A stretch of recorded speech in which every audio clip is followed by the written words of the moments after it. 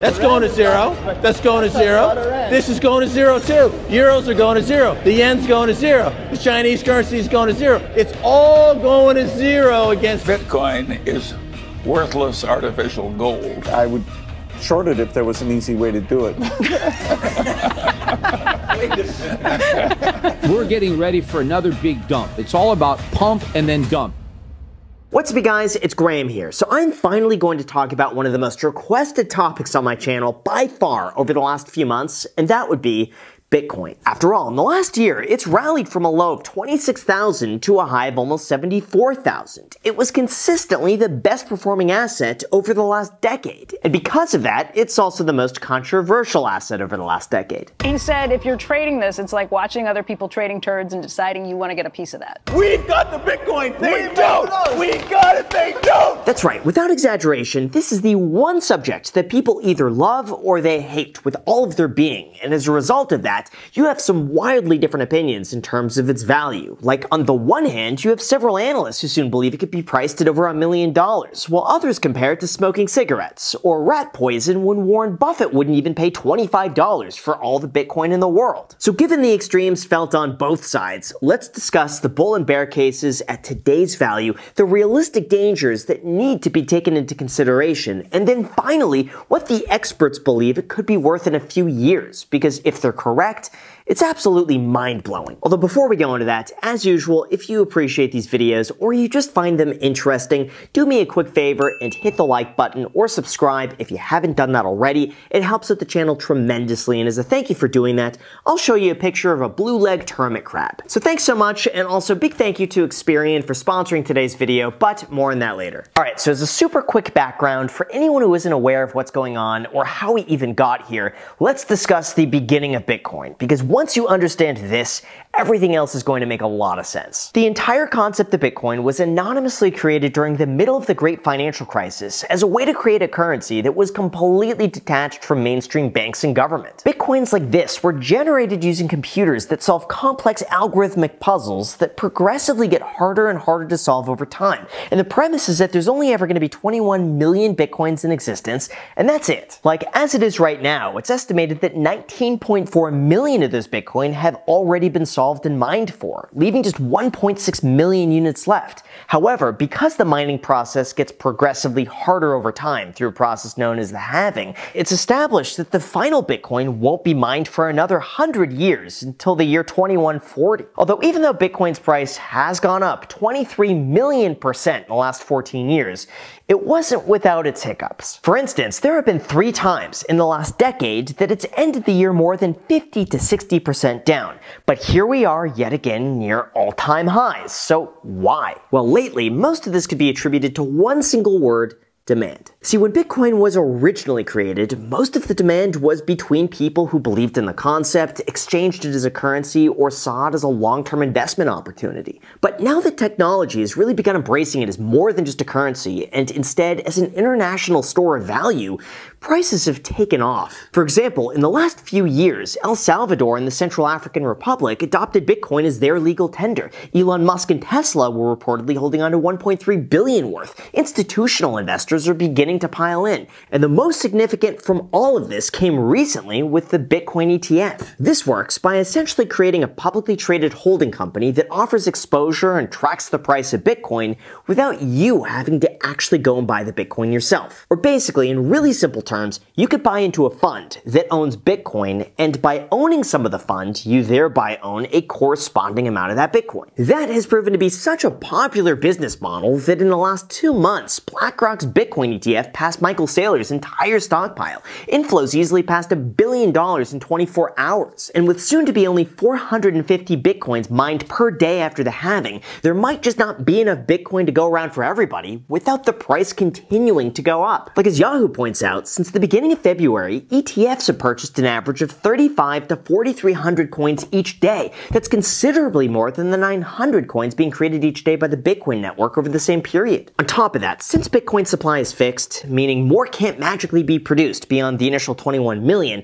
experts believe that this will be the reason it keeps going even higher, although not everybody agrees. Although before we go into the critical arguments against Bitcoin and why some experts believe it could be worth zero, Let's talk about the positives. The fact is, even though the US dollar is backed by the full faith of the US government, along with the strongest economy in the world, its value is long-term declined. Like, as you could see over the last hundred years, the purchasing power of your money has consistently fallen as more of it gets printed into the economy. On the other hand, Bitcoin's supply is capped at 21 million, so there's no inflationary pressure to rot away its value. Other comparisons have also been drawn to that of gold, which is limited by the amount that could be mined from the earth. And in this case, some projections believe that soon Bitcoin will be harder and scarcer to access. It also seems as though Bitcoin is increasingly being used as a store of value in response to the banking crisis, since it's fairly decoupled from traditional finance. Of course, in terms of why this gives it value, Investopedia notes six attributes that all successful currencies must have.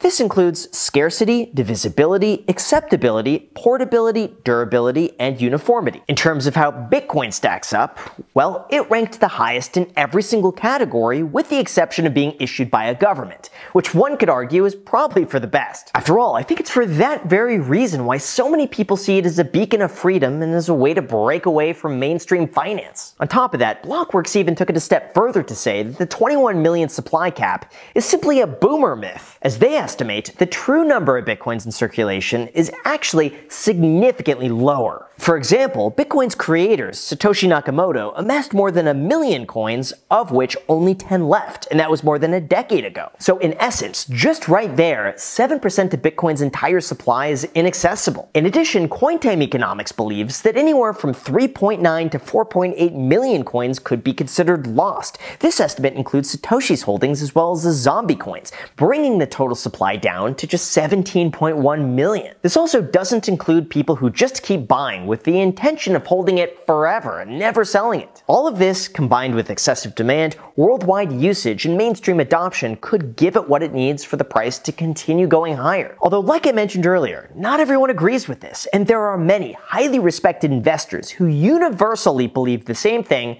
that Bitcoin is worthless. But before we go into that, even though there's certainly a debate on how much the price of Bitcoin is actually worth, I think there's one thing that we can all agree on. Chances are you're wasting a lot of money paying for monthly subscriptions that you don't even use. For example, a recent survey found that the average US household is spending almost $1,000 a year on streaming. Most Americans are spending $211 more a month on subscription costs than they think they do, and in a way, this is almost like the financial death by a thousand cuts. Like sure, one single recurring subscription isn't going to be that big of a deal, but multiply it by 10 or 20 and all of a sudden it begins adding up to something substantial. So what's the solution? Well, there are now ways to easily cut back on this or even save on services that you're already paying for with our sponsor Experian. They start by analyzing your recurring payments to automatically identify subscription charges, and then you're able to have them directly canceled with no additional work on your end. Experian takes care of it all for you, so this way you could focus on saving as much money as possible. On top of that, you could also have them negotiate bills for you. They'll keep an eye out for any new deals or savings opportunities, and then they'll negotiate a better price with your provider on your behalf. This includes categories like your internet, phone,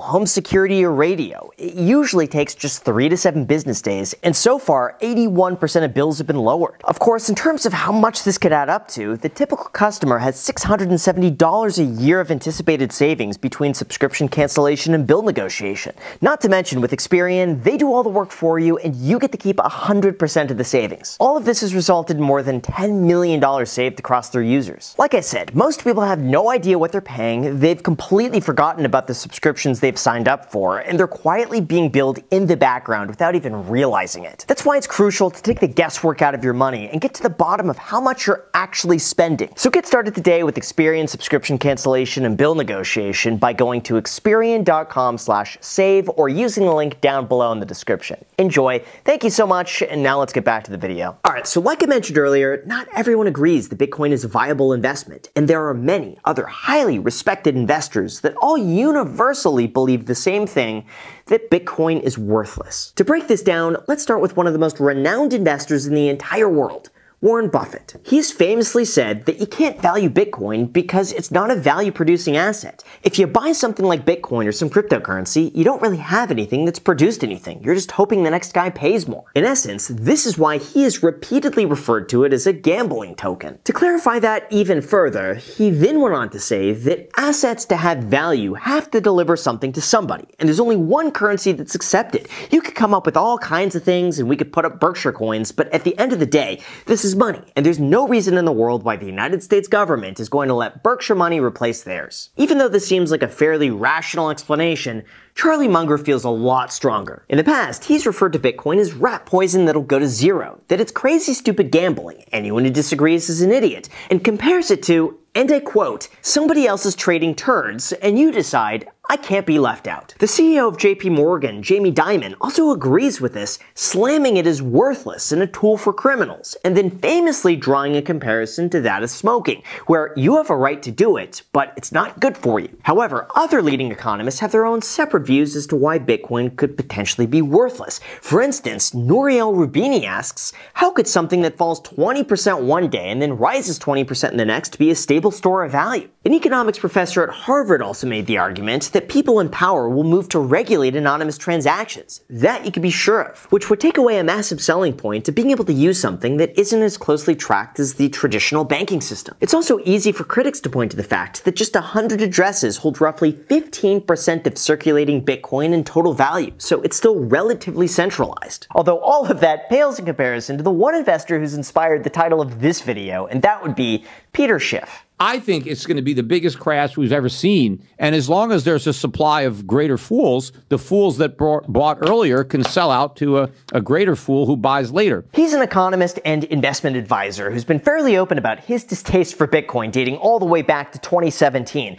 And recently, his headline has gone somewhat viral. He said, This might be your last chance to sell your Bitcoin and buy gold and silver at favorable prices. If you fail to act, have fun staying poor. Of course, in his defense, recently gold has done fairly well, as in it's up about 10% this year, which means it's barely outperforming the S&P 500. But the more I started digging into this, the more it became apparent that Peter Schiff really does not like Bitcoin, and he hasn't for more than 7 years. Why? Well, back then, he posted a debate against the Bitcoin enthusiast Max Keiser, and his reasoning went something like this. You gotta ask, what's wrong with yourselves?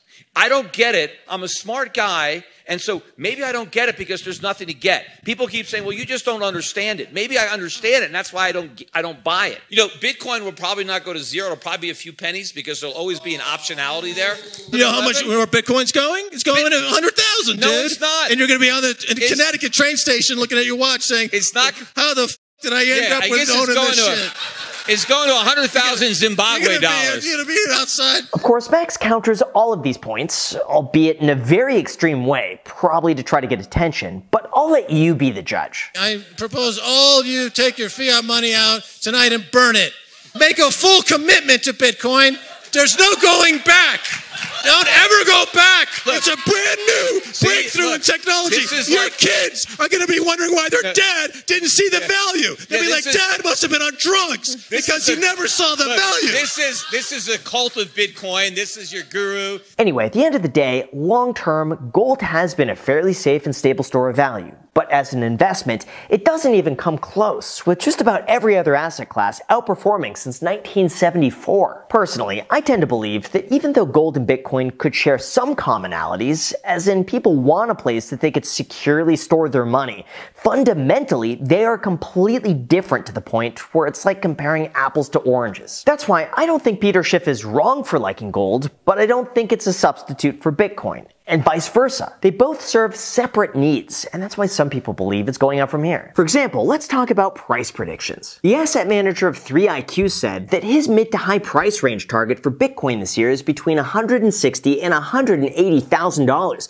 Next year, it anticipates an eye-popping target of $350 to $450,000. Another analyst also arrived at a $150,000 price target by assuming $10 billion worth of inflows for 2024 and another $60 billion for 2025. Cathie Wood even believes that a million dollar Bitcoin could be possible by 2030. Now, as far as the highest price prediction I've seen, Robert Kiyosaki so far takes the win by believing that a single Bitcoin will one day be worth $2.3 million. How did he arrive at that number? I have no clue. However, to be fair, others are still quite skeptical, like Deutsche Bank, whose customers firmly believe it'll fall below $20,000 by the end of the year. Harry Dent says that the US economy's biggest crash will send Bitcoin to $200, and Jamie Dimon still thinks that it's like owning a pet rock. Personally, though, even though there are a lot of critics out there, I see the appeal. Like Fortune recently published a fantastic piece on how cryptocurrency is seen as an intergenerational revenge on the financial system. And for the first time, people could take complete ownership of their money. Younger people also increasingly see cryptocurrency as a way of providing a financial future by taking matters into their own hands and investing in something their parents wouldn't even consider. Of course, that does come with some potentially disastrous risks, but for anyone who's bought Bitcoin and held, so far it's worked out well. Now the problem as I see it is that some of the most vocal Bitcoin proponents also tend to be the ones who are the most eccentric. And as a consequence of that, it could turn people off who otherwise would have been receptive to it, like the Max Keiser example. Sure, he has so far been right, but even though tearing up money is certainly memorable, it probably causes some people not to take him seriously. Although then again, we are talking about him because of that, so he probably wins. This is why I believe that something like Bitcoin has a purpose, and one day it could be worth a lot of money. But as time and time has shown us, it could also drop a substantial amount, and that needs to be considered. So with that said, let me know what you guys think down below in the comments, and don't forget that just for the month of April, you could get a $20 bonus when you go to an affiliate link at acorns.com slash Graham. It's only applicable for the month of April, and then after that, it's going away. So if you're interested, enjoy that $20 down below in the description. Thank you so much, and until next time.